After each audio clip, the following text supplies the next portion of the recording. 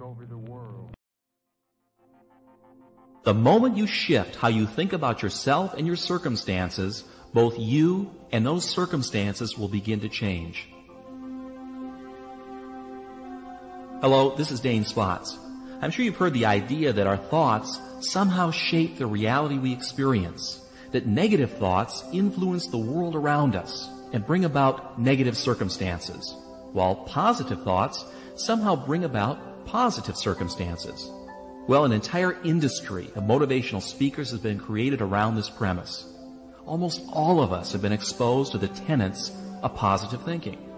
But if it works so well, then why isn't everyone who attends these seminars and reads these books rich and successful? And most of all, happy? If all we need to do is to think positive thoughts, we should be able to create a positive world almost overnight, shouldn't we? What's wrong with this picture? Well, I've spent the last 20 years trying to find out. And what I've discovered is a philosophy that I'll share with you along with a set of tools and programs I think will not only be a tremendous benefit, but will literally allow you to become your potential and derive the maximum pleasure out of life. Much of what I'm about to share with you will seem simple in concept. The best ideas usually are. And so I should warn you that there's a tendency to view these simple ideas from a surface level without really internalizing and practicing them. Therefore, I recommend that you listen to this tape a minimum of four times. Ten times would be even better. And each time you hear these ideas, rather than using your rational intellectual mind, which analyzes things to death, use your playful risk-taking side and make the effort to incorporate these tools into your daily life. The reason I'm asking this of you is because I know that most of you will listen to this tape once and then stick it on a shelf and you'll never really use the material. I want you to use this stuff, to practice it and internalize it. You see, it takes a commitment, a conscious commitment to make positive change occur on a subconscious level. The tools and reprogramming processes must be used to make them work. Look, here's something I want you to realize right now. The old you will do everything in its power to prevent change. It will come up with excuses for not listening to the tapes. It will procrastinate and make excuses for not using these ideas and programs, even if they're good for you. And the reason why you'll do that to yourself is because the old you is comfortable. It has a built-in survival mechanism to protect the status quo. And that's why change is so difficult. And it's also why positive thinking on a surface level always fails. Millions and millions of people attend positive thinking seminars or buy books and tapes each year, yet very few derive lasting benefits from them.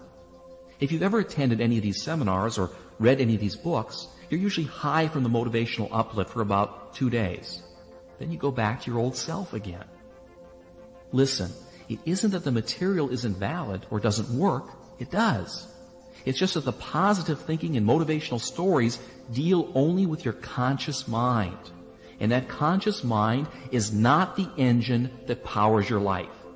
Rather, it's the subconscious or the unconscious portions of your mind from which your behavior and attitudes spring. Going directly into the unconscious and rewiring how you think about yourself and your future is the key to permanent and lasting change. And that's precisely what we'll be addressing in this program. Okay, let's begin. First off, let me give you the philosophy behind this program and also answer the question of just how our thinking and beliefs on a subconscious level affects our wealth, our health, and our success or failure in any undertaking. Let me read you something that sums up rather nicely the point of all of this. What we believe determines what we make true. Let me read that again to you. What we believe determines what we make true. Our perceptions of reality, how we think about ourselves and the world around us, what we look for and what we take to be true is determined by our beliefs. Alter a belief and you can change reality, or at least the reality that you experience. What I'm saying is that through your beliefs, you form your reality. A friend of mine who's a very successful and very wealthy real estate entrepreneur started without a single dime in his pocket, and he was able to amass a great fortune in only a few years with a simple philosophy of faking it until he made it. He convinced himself on a subconscious level that he had already acquired a great fortune, when in fact he was really broke. In his mind, he became a millionaire. The circumstances that brought about that reality then followed. Now, I'm sure that you've heard similar stories. What we take to be true on a subconscious level becomes our reality. Now, does that mean that skill and luck don't play a role in wealth and prosperity? Well, money making skills are learned and begin with a desire and a belief that it's possible. Remember, what we believe is based on our perceptions, and what we perceive depends upon what we look for. And what we look for depends upon what we think. And luck, and we all know of those people who seem to be exceptionally lucky, is created out of a core belief that good things should happen. It's an expectation. Expect to be lucky, and you will be. It's as simple as that. Now you've probably seen this happen to you all the time, but in reverse. You know when you tell yourself that you're having a bad day, and sure enough you do. What we believe determines what we make true. And that's the entire premise of this idea as well as the tape. Are you still with me? What I'm telling you here is nothing new. In fact, it's very old. Philosophers and great thinkers have been saying it for thousands of years. The Roman philosopher Marcus Aurelius said, our light is what our thoughts make of it. Napoleon Hill said exactly the same thing in Think and Grow Rich. And everyone since has said the same basic idea. But that doesn't necessarily help you make it work better in your life. You see, you've got to break through an encrusted mind script that's made up of years of negative programming. That's why we've created mind development tools here at Zygon because the purpose of these tools is to deal with the issue of beliefs and behavior at the deepest levels of your being, and to anchor these new beliefs into your subconscious, where your beliefs are formed and reinforced by your perceptions and thus made true. To create lasting change, you must rescript the core set of beliefs that forms how you think and perceive your reality. Inside our subconscious minds, we have scripted what we see as the truth Remember, what we accept to believe as true is true or becomes true. Period. And any evidence contrary to our core beliefs is discarded or perceptually modified by our brains. So if you've been told all your life that you'll never amount to anything or believe that being wealthy is something beyond your grasp, then that is the mind script that is welded into your subconscious. And then that's the reality you will experience. Now, enough talk about that. Let me give you now a very simple and very powerful tool that you can use to create the reality that you'd like to experience, to attract wealth and prosperity, to bring forth loving and positive relationships, to make you shine and glow and achieve in every area of your life. It's a process I call visioneering. What is it? Well, it's a program of mental rehearsal of future events that anchors successful images to positive emotions through a simple visualization technique. It also programs the subconscious to bring forth a desired goal into reality. Now, you're probably familiar with visualization techniques, and perhaps you've experimented with them in your life. That's good. Most people try it for a while, but then they give up, usually for two reasons. The first is that the old you creeps in again with excuses for not changing. Also because you may not have been doing it right, so you never really noticed any positive feedback to justify continuing doing it. Well, I'm going to give you a super simple solution that's going to work incredibly well, but it's up to you to use it. And there are three steps in the process. Before I give them to you, let me give you a bit of a tip.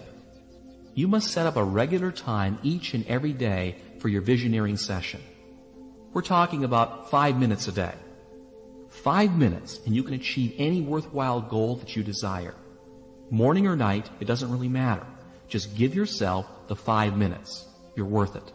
Now this five minutes must be exclusively devoted to the visioneering process. Okay, are you ready for a session? Get into a comfortable position, close your eyes, and with your eyes closed, roll them upwards slightly as if you're trying to see the center of your forehead and listen to yourself breathe. Focus your attention on slowly taking deep breaths and on the sound of the air coming in and out of your lungs. Feel yourself relax. Do this breathing exercise five times. It will only take 45 seconds or so as you focus on your breathing. This is a simple relaxation exercise that will immediately alter your consciousness, putting your brain into an alpha state. In fact, if you were to hook yourself up to an EEG machine while doing this simple procedure, you would see an increase in alpha wave production emitting from your brain. And in only 45 seconds. You know, there are seminars that charge upwards of $500 to teach you this. Okay, so you've learned how to induce an alpha brainwave state in 45 seconds. The next step is to pick out an image of a past memory where you were extremely happy. Really get in touch with that experience. It doesn't really matter what it is or when it happened. The point is to conjure up a winning feeling or a positive emotion that you can then use to connect with your image of a future event. Perhaps this is an image of the moment you remember falling in love or receiving a standing ovation during a high school play. Go back into your past and pull out a very specific event that you will relive in every detail. Feel the pats on your back, the loving adulation, Remember the voices, the smells, the colors. As you recreate this scene, let yourself re-experience all of those winning feelings. What you're doing here is bringing forward into your consciousness a positive emotion that will psychologically become connected with a future goal in your subconscious. This has the effect of anchoring that desired goal into the subconscious mind so that it's energized and becomes a subconscious reality. Now, making it happen is really quite easy because if the subconscious mind believes it, it will alter your perceptions and will look for it to make it into a reality. I'll talk more about that a little bit later. Okay, once you've relived that positive moment and felt those winning feelings welling up inside of you, the next step is to envision the future goal that you want to achieve as vividly as possible. It can be through a mental picture, a word, a musical note, a taste. In fact, any sensory image that you can think of. Each person is different. Some people respond better to pictures, while others words. The key point here is to see yourself as if you've already achieved that goal, whether it's in the form of a picture, a feeling, or words. If it's money, see yourself as already having it. Perhaps the images are of you going to the bank with a big deposit, or you're sitting at your desk at work piled high with hundred dollar bills. Smell the money. Roll in it. Throw it in the air. See yourself walking down the street wearing the finest clothes, driving your dream car, and hearing the whispers and comments of your friends, wondering how you ever got so successful. If you're a student taking a test, see that big red A plus marked across the top of your exam. If you're a salesperson, see yourself actually closing the sale. If you're giving a speech, see the audience clapping for you and telling you what a wonderful job that you've done. Let's say you want a vacation home on Cape Cod or in Malibu. Picture yourself walking through the front door, noticing the color and the texture of the walls, the lawn, the roof, the entry area. Go ahead and walk through the entire home in your mind, filling in the details exactly as you would like them to be in your reality. Give your images as much richness and detail as you possibly can. And don't worry if at first your images are a bit fuzzy. The process improves with practice. Tie in sounds, smells, and touch. In fact, the more senses and the greater the specificity, the more ammunition that you're giving your subconscious mind to believe it and then to act on it. Okay, you get the idea. Now let's review the steps here. First, you get comfortable. Close your eyes and roll them upward, focusing your breathing for five breaths. Second, recreate a winning feeling by bringing forth a positive image from your past and reliving it for a minute or two. Three, envision your future goal as if you've already achieved it and do a mental rehearsal of that event or objective with as much color and detail as possible. Now there's one last thing that I want you to do at the end of every session that may seem a bit strange at first, but it's very powerful and very important. When you open your eyes, I want you to say the following out loud. I now allow myself to have, and then fill in the blank with whatever it was that you want. And then say, so be it, it is done. This simple statement to yourself affirms the goal that you've just programmed and releases it. Why release it? What you want to do after affirming it is to release it and not dwell on it. Dwelling on something is like telling your subconscious mind that you don't really believe that it's possible. It's like wanting something too badly. You know when you want something too much and that you're afraid that you're not going to get it? This is what I call the choke syndrome. When you try too hard, you choke on it.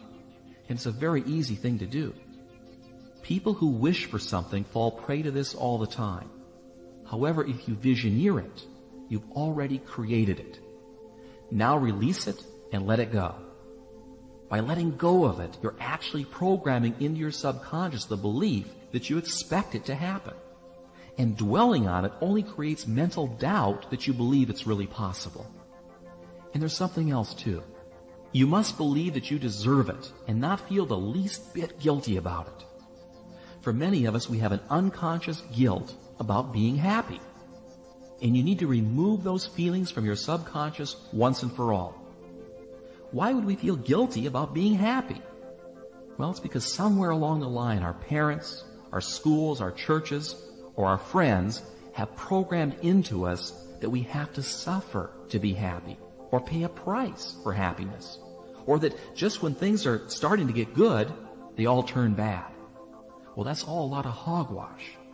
People say those things because they themselves have a belief system of limitation and lack. They believe at a core level that they don't deserve success and happiness, so why should anyone else? Most people think that happiness comes out of being successful or having good health, when in fact the reverse is true. Happiness is not something that's earned or deserved. Happiness is simply a state of mind by which our thinking is positive a good share of the time. If you wait until you feel deserving of having pleasant thoughts about your life, you'll end up convincing your subconscious that you're undeserving of happiness. And the result is you'll be unhappy and unsuccessful in most of your undertakings. It's not selfish or wrong to be happy, regardless of where you are in life. So be happy. Happiness is a means to an end, success and well-being. And it's also an end in and of itself that we all desire. Happiness is not something that happens to you. It's something that you cultivate, that you determine and control. If you're waiting for happiness to happen to you, you're going to have a long wait. Instead, leapfrog to it right now. How do you do that? Well, it's really very simple.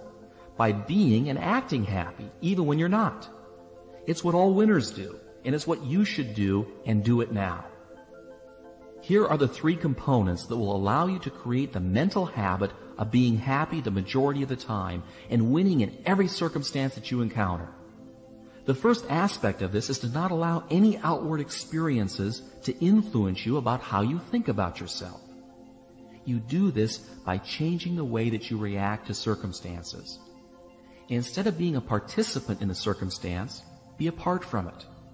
Let's say you're a salesperson and you make sales and you create commissions for a living. And you've just spent the last three months of your time and money putting together a major deal. And it's just getting ready to close when your prospect backs out at the last minute. Your commission was big bucks and you see it all going down the drain before your very eyes. And you say to yourself, I just knew this was a lousy business. Why did I ever go into this business in the first place? People are rotten. Now I have to start all over again. Whoa, wait a minute, time out. Stand outside of this picture for a moment. The circumstances are that the deal fell through. But how you react to it will have everything to do with your happiness and the success of future deals. Instead of moaning and feeling helpless, make a conscious habit of reacting aggressively and positively towards threats and problems. Don't let it affect you personally. It's just another deal in a world that's full of deals. Move on to the next one. When you can mentally control the circumstances and never see failures as failures, you'll be amazed at how much easier life will become. Every human being that's alive is presented with challenges and obstacles. It's only how we perceive them that makes them negative or positive. The second component of this concept is to consciously practice living your life in the present, not the past nor the future. You can envision the future the way that you want it to be in your visioneering sessions, but don't make the mistake of living in it. The secret of being alive and always happy is to experience the present. Think back for a moment of the happiest times in your life. I'll bet those were moments that you were totally absorbed and focused in the present. And you were happiest because you felt so alive, so in touch with the experience of living. You weren't thinking about the past or the future because you were too busy living in the now. This is one of the secrets of truly happy people. They're absolutely absorbed in the feeling of being alive. Let me give you an example that almost anyone can relate to. Making love is perhaps one of the most physically and psychologically satisfying things you can do. Why? Because your energy is so focused and so concentrated in the moment that feeling of being alive is incredibly intense. You want to know something interesting? Many Vietnam vets will admit that the time when they felt most alive was when they were in country, walking out in some rice paddy. As strange as it may seem for these soldiers, that was the time that they felt most alive. By living your daily life with focus and concentration, you will not only perform at your best, but the intense pleasures you will derive from just living will dramatically increase. And there's a simple way to go about doing this I learned from the famous author Ray Bradbury. To help him focus his daily writing, he had a sign that he put on his desk that said, don't think, don't try, just do. And that's really what it's all about. Thinking and trying give your subconscious the wrong message. Just by doing, your subconscious autopilot will automatically steer you in the right direction. The third and final point I want to make here is for you to make happiness a habit. Link it in with your self-image. Regardless of your fears, anxieties, and circumstances, make happiness the choice that you pick. See yourself as happy. Focus on the details of the moment and take the time to love and appreciate the magnificence of the world around you. By affirming life and moving forward through life's experiences with an attitude that says yes to all the circumstances that you encounter, you'll program your subconscious to deliver a meaningful and joyful existence. It's true. And it's not that difficult if you don't think or try, but just do. You know, science is just now catching on to the immense powers of the mind. Powers to spontaneously heal disease. Powers to overcome extreme handicaps, both physical and psychological. And powers to live a life filled with joy and happiness. You know, we spend hours in a gym conditioning our bodies to look and feel their best, but very little time developing our most valuable resource, our minds. And the more you condition your mind for success, the more you will have. Computer programmers have a term they use called garbage in and garbage out. A badly programmed computer is doomed to spit out bad information. And that's the same with your mind. Make a point of using this program on a regular and consistent basis. And do the visioneering exercises on the little things as well as the big things that you want. You'll be amazed at how effortless it will make your life. And finally, why not just for the heck of it, create a habit of being happy all the time? Make a conscious decision to take aggressive action in the circumstances of your life and resolve to become the best that you can be. These simple things will have a dramatic effect on your reality. Follow this program, and one year from now, I guarantee you'll be totally amazed at the transformation and the positive direction that your life takes. Thank you for listening. And until next time, this is Dane Spotts.